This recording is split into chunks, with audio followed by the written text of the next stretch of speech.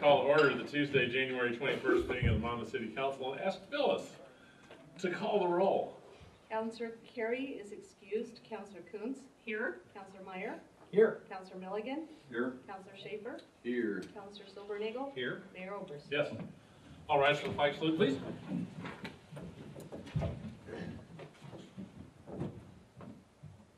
I pledge allegiance to the flag of the United States of America and to the republic for which it stands, one nation under God, indivisible, with liberty and justice for all.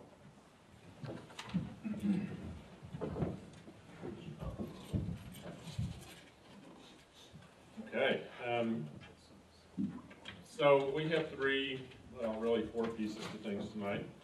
And that is, in addition to council meeting, we have an urban renewal agency meeting and a work session that includes an executive session on, uh, um, reviewing public employees. And, uh, so I'm going to do it in that order and we'll have the council meeting and then we'll jump straight into the urban renewal agency before we move over to the work session.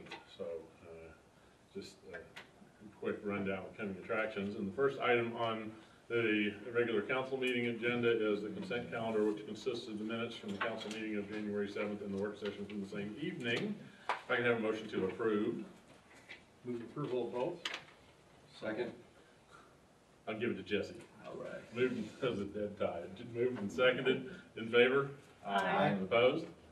Okay, we'll adopt those two sets of minutes. Um, Mayor's report, I attended, um, I was, I was asked not long, well, it was a while ago, just now, to serve on the Transportation Options Advisory Committee at ODOT. This is a body, we have a new, uh, sort of branch of the transportation plan in Oregon around transportation options and, uh, meaning, how do you get from point A to point B and what are all the different ways you might do that and what can we do to help people choose amongst the options that are available to them and what can we do to uh, improve on those options. And so an advisory committee was uh, created to help craft the documents that will put this new piece of the transportation plan into place. And uh, because of my involvement with the Transportation Enhancement Advisory Committee, I was asked to serve on this thing as well. So um, I attended that today and we're slowly but surely cranking through uh, the creation of documents around that and hope to have it done by uh, late this year. So I'll keep you posted as things come along with that. Um, The only other item I have for you, uh, I'm hoping that folks are getting an opportunity to check in on WIMPEG um, and the continued improvement on, on the stuff that is being uh, put on our three channels on MINET. Um, Rod Killen, in addition to uh, uh, those productions has, that he's created, is also starting to work with folks in the community. He's pointed out that there are miles of video footage in this community with everybody having cell phone cameras and tablet cameras and so on, that given a little assistance could be uh, dropped to a computer and edited and actually put on. So uh, he's in, starting to offer training for how to do that. Um, uh, He, uh, he's also noted that uh, one of the members of the WIMPEG advisory, or WIMPEG uh, Board of Directors, has a large, a big screen television and no cable service of any kind, because everything he watches comes in on the internet from YouTube and various other uh, content delivery services. And that's a direction that a lot of people are headed, just like people are dropping landlines, they're also shifting to internet-based television. So Rod has set up a YouTube channel uh, for WIMPEG now, and we're also looking at, uh, he's got a Facebook page up for WIMPEG where you can go and check out schedules for the, the three um, MINET channels. So uh, if you haven't looked in on WIMPEG lately, I would urge you to do so. That would be channels 17, 18, and 99 on MINET. And uh, we'll continue forward from where we are there. Can I add to that? Yes, please do. Um, I was, uh, actually part of the first training, um, video training for the WIMPEG. They partnered with the YMCA and, uh, they are working with the YMCA because apparently youth sports and youth activities is a TV gold, according to, uh, Minet. And so we were like, awesome, we'll take a Pac-10 channel, just like, uh, we'll be a Y channel, but no. Um, we've got to start small, so we've got to start training, or uh, we trained um, a couple staff, including myself, um, and then the idea is to train volunteers. The idea is to get community members to be able to put content or get content to Rod and the WIMPEG board or group to not have to spend any time editing. And they can just instantly put it up, because that's a big piece, and then, um, Very good. I spent, I've spent quite a bit of time lately watching the Wimpeg channel on YouTube, actually, so Good, I'm excited. okay. Um, turning to reports from council reps to boards and commissions and council, please, tell me about the library board. Well, thank you, Mayor. Um, actually, I, I wish that people watching on the YouTube channel could, um, hear the report that we're going to hear later on from our library advisory board, but I, um, they have a lot of amazing things that have happened throughout the year, but I'll just talk briefly about our meeting of January eighth. Um, the library board was, um, in discussion with our library director about upcoming needs to be considered as we enter budget season. So knowing that we have a budget workshop coming up, we kind of discussed what are some of the, the things that we see with a new director, maybe a new direction in library work. Um, what are some of those considerations we want to get into the city budget? So we kind of talked about that. And also, um, really looking forward to a, our, uh, major program, uh, looking at expanding adult programming, and so we have discussed with the city manager changing city policy to uh, perhaps allow um, alcohol to be served on city property, and if that gets worked out in time, to have the wine and poetry tasting event that has been scheduled for March fifteenth at the library. And we'll hear more about that, but it would be a lovely evening, uh, perhaps music and uh, poets reading poetry, discussions of poetry, some, um, a, a lovely evening at the library. In the meeting room versus the actual library. I don't know about that. Okay. That could well happen all over the library, Ben Leonard. We want people to be in the library, right? So Very true with their why wouldn't you have things in the wraps, in the stuff? That's the clarification. yeah. It's gonna be a fun event, you're gonna wanna be there. So, that's my report, sir. Very good, thank you. Council Schaefer. Uh, Mayor and council, I apologize, I was not able to make it to the meeting on the fifteenth, um, so, um, I don't have anything to report. Uh, Councilor Milligan. Sure, Parks and Rec, uh, their last meeting, uh, a few things are updated. Uh, Madrona uh, Park Walking Trail and Arboretum, um, the four hundred twenty thousand grant uh, is funded and secure. Construction schedule is to start in June of twenty fourteen. I believe that uh, there'll be a groundbreaking uh, at that time. And then completion should be somewhere around November on that. Um, Main Street Park Amphitheater, quite a bit has happened on that since uh, I last updated you. Another concept, I think I told you, E has gone through another revision. Um, And currently, that revision is the one that the uh, Parks and Rec Board prefers. Um, They had another meeting to look at some things, and then on January seventeenth, the project oversight team uh, met with the design team and the sound and light techs to discuss more technical issues. And then on February twelfth, there's gonna be a review of the detailed designs, landscaping, and costs by the Parks and Rec Board and the project oversight team. And then possibly there'll be a recommendation come out of that to, to the council. And if there is a recommendation, it should be before us at a council meeting in March. Right. And, uh, let's see, what else is there? I think those are the two significant things that came out of that meeting. Did, did, uh, so where you said Plan EU, correct? Yes, Are we still somewhere similar to what we was voted on by the community, or have we veered away from that quite a ways? uh, we have not veered away from that quite a ways.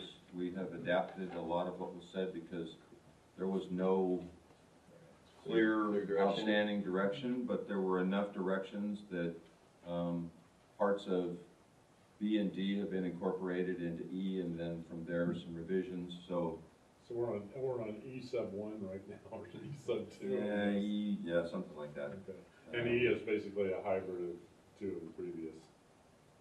Correct, yeah. Okay. And not all that different, but the next time it comes before the Parks and Rec Board, there'll be more details about construction materials, um, and costs and lighting and landscaping and a lot more details that we haven't seen yet.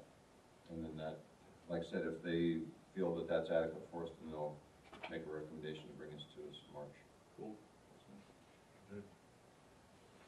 Are there any community announcements? And hearing none, I will turn to the city manager.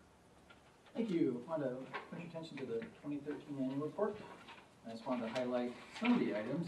And I think overall, you can see, once again, well, this is a high-performing organization. We're delivering great core services, we're continually improving operations and completing some big projects. We're moving the community forward and doing a good job.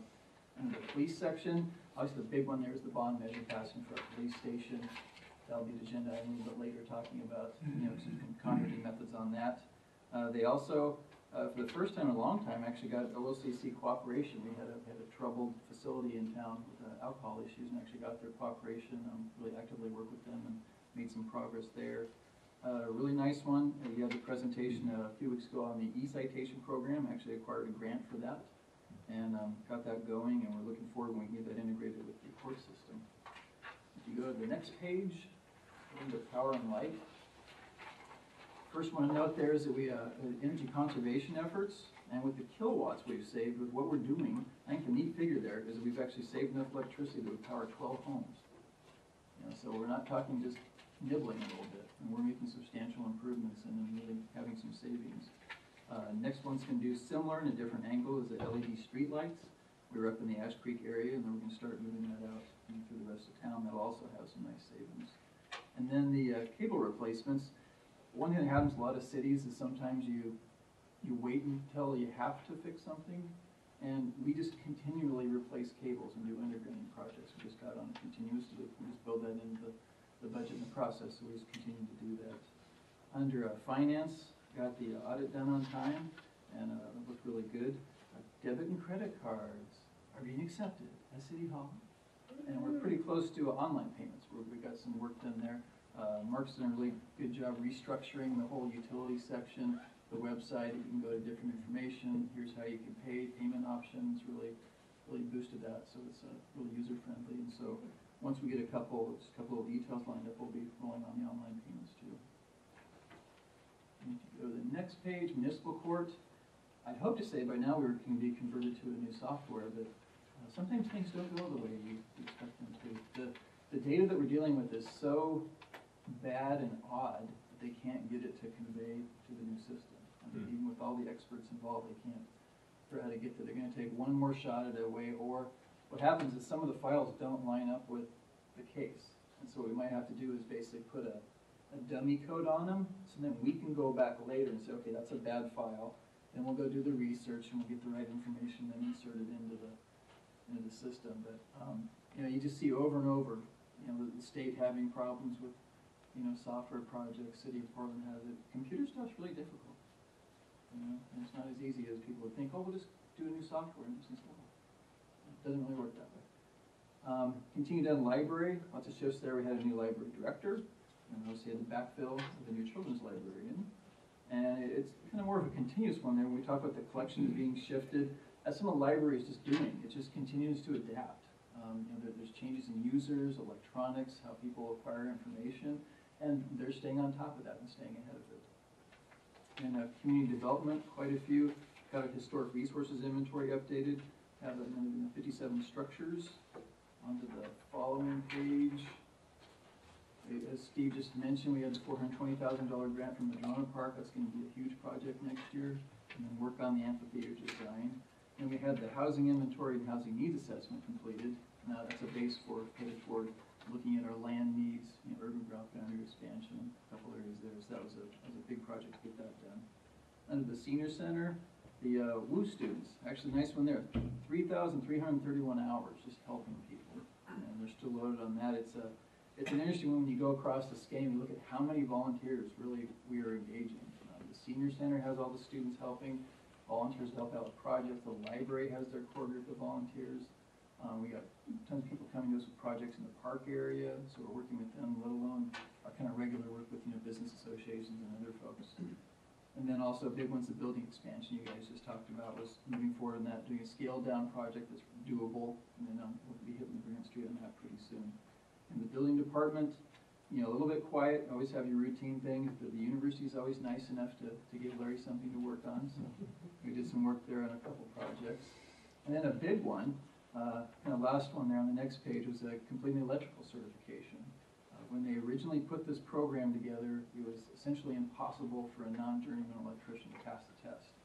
And um, Larry kept working hard at it, they also did some adjustments to the program, and so he is now able to, you can do actually all your needs um, without, you, you use contractors. So that will actually keep things going really well, nice efficiency there.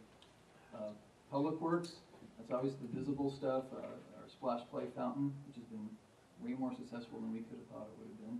Uh, getting the dog park constructed, having a grand opening it's fifteen degrees is always fun.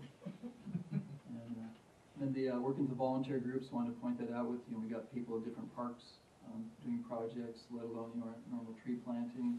Uh, down toward the bottom, the parking, we had the parking discussion, and we generated, see, a bunch of parking spaces around town, trying to loosen things up a little bit. I think that was good creative work on that one.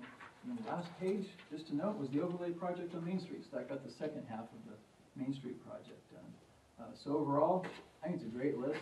And I said, as I said before, I'll stack us up against any city or center, or even bigger for that. Very good, Scott, thanks. Any questions, council? Looks good. Okay. Uh, citizens comment time. Anyone have any comments for anything that aren't otherwise on the agenda? Yes. Oh, Come on up and your name and, uh, city for the record, please, and Alrighty.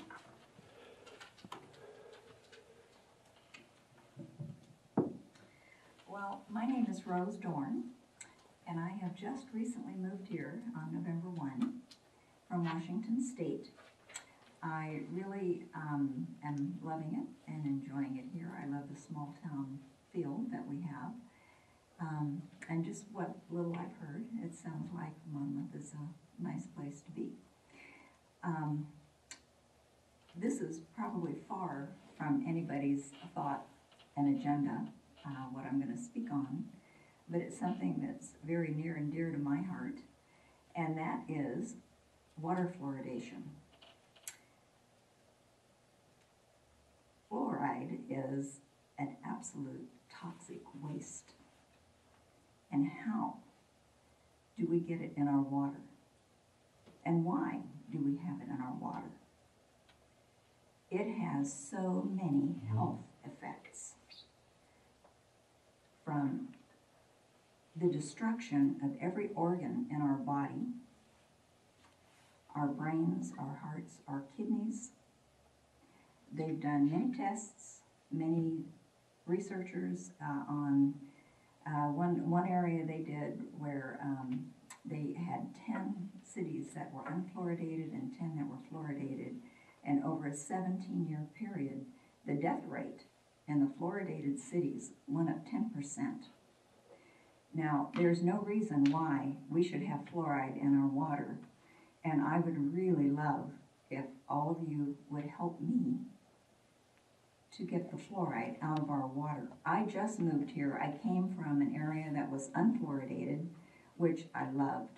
Just in the short time I've been here, I really feel it in my skin, the dryness, the, my hair, everything. And it, it just doesn't make sense. And my question is, we have, I mean, why, how much money do we spend on fluoridating this water? Does anybody know? You're talking budget. You're saying, where can we get money for this and this and this? Well, we need to spend money on something that is a good thing, not something that is a detriment to every person in this community. And um, I would just like to read some of the things that that fluoridation causes. Um, and especially fluoridation mixed with aluminum, which we have, we, we get aluminum from everything practically. You mix fluoride with it, you have problems with Alzheimer's, which is expanding greatly, as we all know. Parkinson's disease, Lou Gehrig's disease, um, ADD, ADHD, dyslexia, developmental brain disorders. Um, it, it accumulates in your pineal gland, which basically um, causes kids to come into puberty much earlier. Um, it also regulates our sleep. It protects the brain from damage from free radicals. And, and the main destructive reaction seen in all degenerative brain disorders. And in babies, uh, another study that was done uh, that were aborted, babies five to eight months of age, uh, gestation, eight months, five to eight months gestation, they found that their brain cells were grossly abnormal. The nerve fibers were not even compatible with typical human nerve fibers. These kids were in obviously fluoridated areas. Um, they were grossly abnormal and the nerve fibers were misplaced and swollen when they did autopsies on these babies. Uh, the fluoride levels that are set by the EPA are, are supposedly safe. And the, the maximum they say is four milliequivalents. I don't know what the, the things are, but anyway, uh, what I'm saying is basically we need to get this out of our water because it's causing great, great medical problems for a lot of people, and for all of us. Um, it causes cancer, osteoporosis, uh, hypothyroidism and go- goiters, um, male infertility, tooth fluorosis. It does not save kids from getting tooth decay. As a matter of fact, they have found that children that live in non-fluoridated water have better teeth than people who live in fluoridated areas. Now, in October of 2010, the UN declared access to clean water a human right. And I think it is my human right not to be medicated with fluoride when I don't want to be. Now, Excuse, me, we, we do try to limit it to about three minutes. right, Um, The council actually discussed this very issue, what, three months ago, maybe sometime in the last three to six months. And uh, came to a conclusion that we weren't gonna take action at this time. and um, why, why would that be? Um, I think various councilors had various reasons for that. Councilor Milligan was a strong advocate for removing the fluoride. Um, and as I say, there was a r- wide-ranging discussion. You might look into council minutes and see what you see there. Um, we might pursue having a slight, you know, let's have some additional conversation about it, I suppose, but at this point, uh, council is not in favor of removing the fluoride. What can I do about Well, that? We actually didn't make a decision on whether Okay. to remove it or not. Okay. We made a That's just decision correction. I to think I was wrong. postpone a decision until Yeah. more information was put before Okay. council.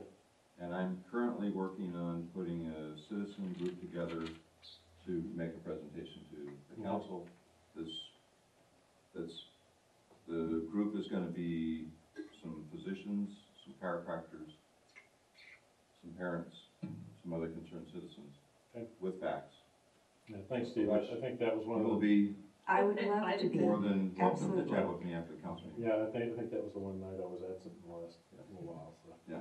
Thanks. Well, how does one, I know I have to give up my time, but how does one get a petition started then? I'll educate the We'll talk public? after the council meeting. Okay. Um, Thank you. Thanks, appreciate it. I always hate to cut anybody off, but, um, and council will tell you I very rarely do. But we do, uh, have a lot like the agenda tonight and need to go ahead and get moving with some things. So with that, I will turn, uh, to our auditor and ask him to tell us about what's up with the audit this year. And you'll just take one and pass it down.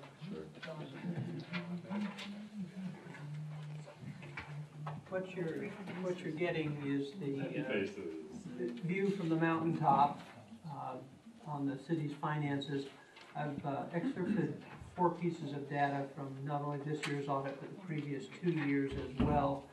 Um, You'll see all smiley faces there, and so if you, you know, accountants are such fascinating speakers, if you wanna take a little nap and all you wanna know, what's the gist of what I'm gonna say, you can look at the smiley faces and, uh, and basically have what I have to say.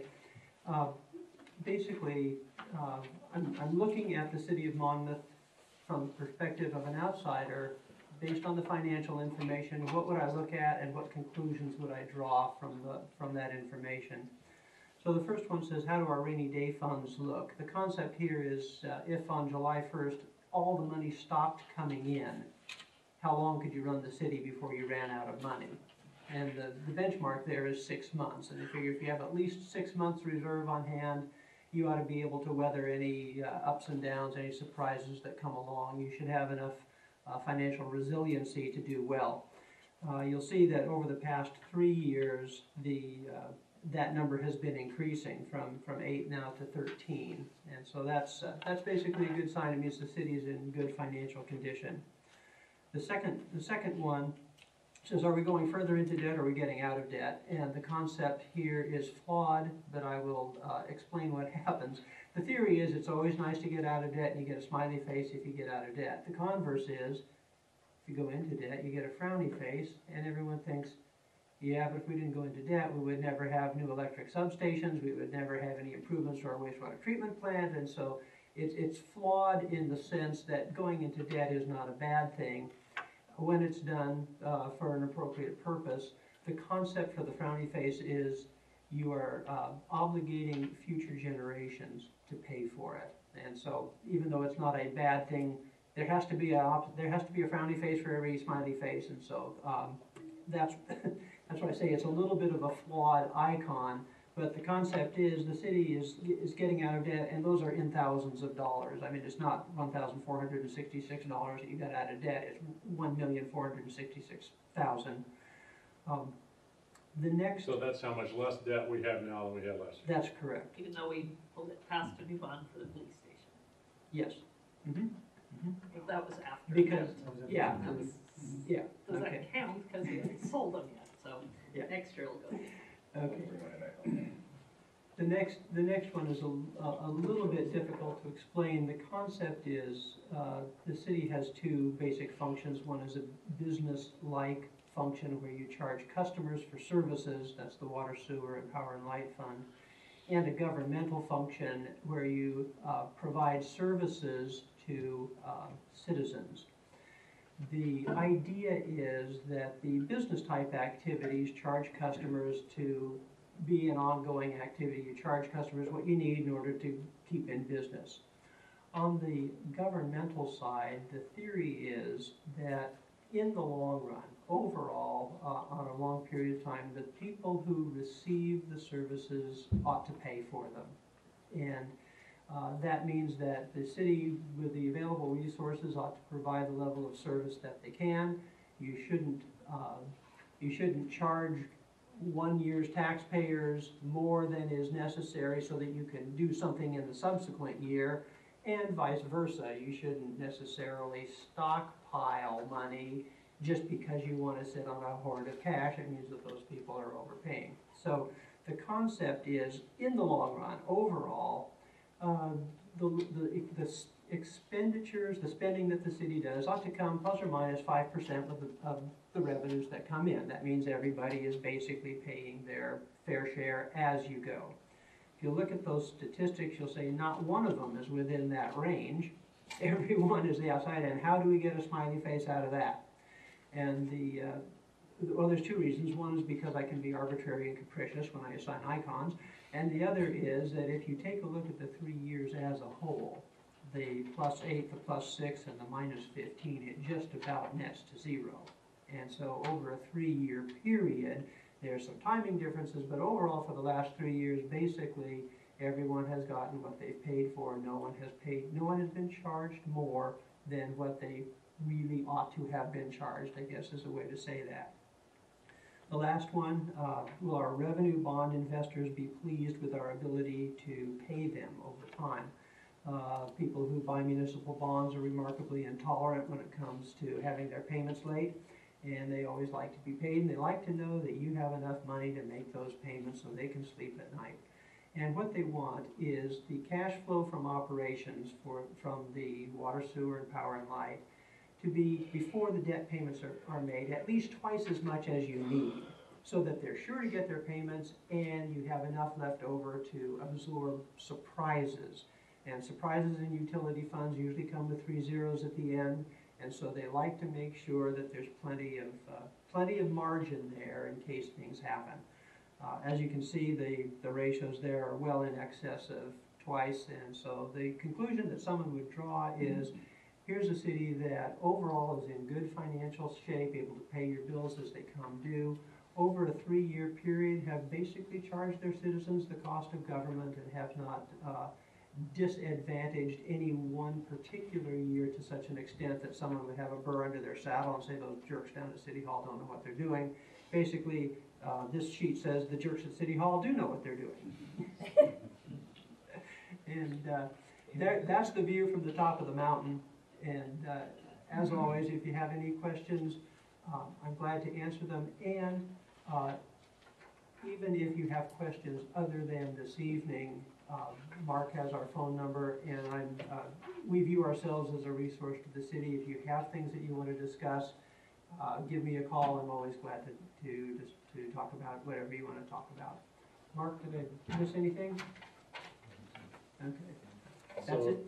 I see, it- uh, well, first of all, I'd like to ask if any councilors have any questions for Tom on this report this year.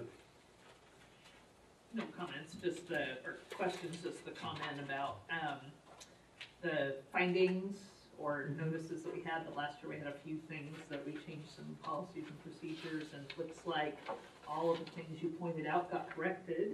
Yeah, we, yeah, I, I, but Ralph Nader would really be frustrated this year with the city, because there's just no graft and corruption to find, and so, uh, it makes for a really boring audit, but basically what you want is a really boring audit. So- So the staff report notes that it would be appropriate for someone to make a motion accepting the audit report from Grove and Mueller and Swank. I would be entertained by such a motion. I would move that we accept the uh, audit report as presented this evening. Second? Moved and seconded in favor Aye. and opposed? I think we will accept that one, and you can just stay right there. I did two other finance directors. It's pretty funny. The two public finance directors, Right, all right. Okay, so, um, who actually know how to read this thing. right. What are you trying to say? So, we do have an executive session tonight. Um, I would first ask if there are any council comments this evening. And hearing none, I will turn to the script for the executive session, which reads as follows. The city council will now meet in executive session for the purpose of discussing performance evaluation of public officers and employees. The executive session is held pursuant to ORS one ninety-two point six six zero two I, performance evaluation of public officers and employees, which allows the council to meet in executive session. Representatives of the news media and designated staff or other persons shall be allowed to attend the executive session. All other members of the audience are asked to leave the room, not now. Um, representatives of the news media are specifically directed not to report on any of the deliberations during the executive session, except state the general subject of the session as previously announced. No decision may be made in executive session. At the end of the executive session, we will return to open session and welcome the audience back into the room. And it is not anticipated that action will be taken this evening after returning from executive session. Um, what I would now do is ask for a motion to adjourn this meeting to, uh, until after, uh, the Urban Renewal Agency meeting, and it will, we will, uh, come back together in work session at that point, so, uh, a motion to adjourn until after Urban Renewal. I move to adjourn our regular meeting until we resumed shortly. And seconded, Second. In favor? Aye. Opposed? And with that, I will turn to the Urban Renewal Agency agenda and remind everybody that there are no longer councilors and mayor, but rather Mr. and Ms. And I will uh, call to order the Tuesday, January twenty-first meeting of the Monmouth Urban Renewal Agency and ask Phyllis for the roll call, please. Mr. Carey is excused. Ms. Coons? Here? Mr. Meyer? Here. Mr. Milligan? Here. Mr. Schaefer? Here. Mr. Silbernagel? Here. Mr. Oberst? Here. Any citizen comments on Urban Renewal Agency items? And seeing none, we have a consent calendar that consists of the minutes from the last Urban Renewal Agency meeting, which was September seventeenth of twenty thirteen. And, uh, I can have a motion to approve. I move we approve the minutes as presented. Second, Second. Steve gets this one. Moved and seconded, in favor? Aye. Opposed? And with that, I'll turn to the business agenda, which happens to be an audit presentation from Tom Glogow, Grove, Mueller, and Swank. Okay. And here is page two. And, uh, of course, the first thing you're gonna look at is the icons, and you'll say, whoa, how did we get three frowny faces when we just had four smiley faces? And that's, uh, that's what I want to explain to you. Um, let me just preface my comments by saying a smiley face doesn't mean everything is fine, and a frowny face doesn't mean there's problems. The idea of, of those is to spark your thinking, to get you, um, I'll, I'll say, evaluating the actions of the Urban Renewal Agency as an outsider might view them. And the, the net result of what I want to say is an outsider looking at the Urban Renewal Agency would probably say, gee, I hope those folks know what they're doing. Uh, there are some, uh, some, and uh, I'm not trying to imply that you don't. I'm saying that an outsider would take a look at what happened and say, this is atypical. This is not what I would expect to see in an urban renewal agency. So let's, uh, I have just three, uh, items here. The first one says, how do our rainy day funds look? And again, the same measurement, six months is the benchmark. If you look at two thousand thirteen, the number is zero, okay?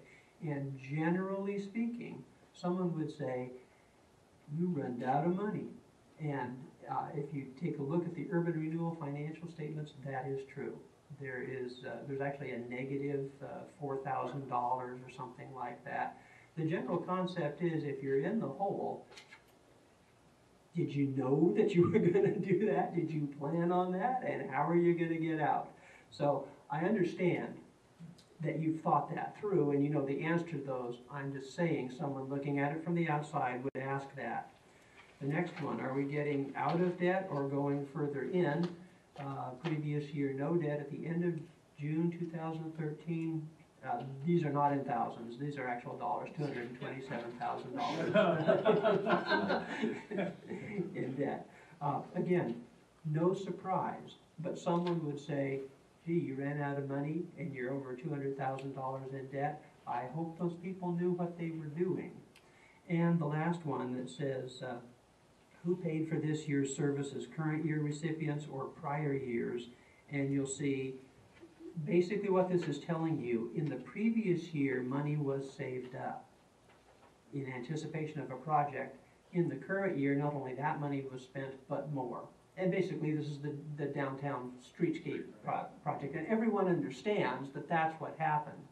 But someone looking from the mm-hmm. outside who didn't have the rest of the story would take a look at these numbers and say, those are very unusual numbers uh, to be seeing in a municipality. But because you know the facts behind the story, it's not a cause for concern. That's why I say a frowny face doesn't mean there's a problem. It just means that these are not what someone would normally expect to see in a municipal audit report. Does that, Mark, what, what am I missing there? Um, The only thing I would mention on the negative number is, if you look at it from a budgetary basis, which is how we do our budgets, um, we weren't negative.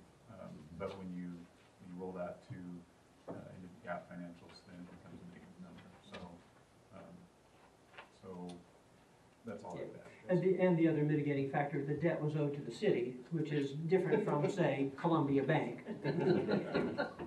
It's nice when you can borrow from yourself. Yeah. Um, you, you tend to get good interest rates. Uh, so, when, or, thing that sort of hangs here for me, Tom, when we first, uh, went into the notion of an urban renewal agency, one of the things I very clearly remember hearing said over and over again was, one of the functions of an urban renewal agency is to take on debt. And so, uh, just, you know, can you, can you help, uh, wrap your concern around, or, you know, the outsider's concern around there being debt? Right. contrasted with the statement that the function of the urban renewal agency is take on debt. Yes, that's right. Uh, Actually, the, uh, let me clarify that a little bit. The function of the Urban Renewal Agency is to, um, to, to create, to uh, achieve urban renewal. Right. And they, they can do that through the, through incurring debt to make those expenses. What has happened is the Monmouth Urban Renewal Agency has chosen a project, has invested money in it, and until, uh, I will say conceptually speaking, until that debt is repaid, there's not additional projects that the agency can undertake. In other words, they have spent, uh, made a decision, we're gonna invest heavily in this project. Now, in order to do another project, we have to sort of get back to our starting place and figure out, are we going to save up money and then spend it? Or are we going to incur debt, get the money, make the expenditures, and then repay it in the future? So it's, a- it's a, I'll say a fiscal philosophy. One is, it, it's, I guess it's equivalent to buying a car. You either save up enough money, go to the dealer and pay cash, or you have a hundred dollars in your pocket, go to the dealer, buy the car and get a loan at the credit union. And in, in both situations, you still obtain a car. It's just when do you set aside the money to pay for it? Do you set aside ahead of time, or do you set it aside afterwards? And so the, the, the, what the Urban Renewal Agency has done in the past is to save up the money ahead of time, buy not only the car, but some accessories to go with it, and oh, now we gotta pay for those before we do something else.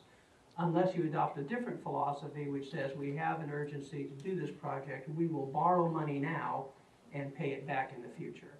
It's a, it's a, it's a, I'll say a council decision based on your fiscal philosophy. Does that clarify things? It does, I'm, I'm, I, I think where I am is if in fact you take on debt and you have revenues, you plan ahead far enough to know what your payments on that debt are gonna be, and you have revenue sufficient over, that you know over the next few years you're gonna be able to pay that debt plus, Mhm. you should be able to use that plus to take on perhaps some other debt. As long as you know that you haven't, your payments do not exceed your projected income, and unless the bottom falls out of the real estate market mm-hmm. completely, we should be in pretty good shape on revenue, so. Yes, that's, That's, that's, that is, that's exactly correct, and that's why I say there's limitations on the, if, if you look at a frowny face and you think there's a problem, no, a frowny face means, did we know what we were doing, is that the right decision that we wanted to make? And like I said, a frowny face, you get a frowny face if you go into debt, it doesn't mean it was a bad decision. It just means there is a now, there is now an obligation that future years have to retire that debt. And it means that you have, um, I'll say, used your option to invest in a particular project. As you're paying back that debt, if other opportunities come along, you may not be able to take advantage of them because you made a decision now.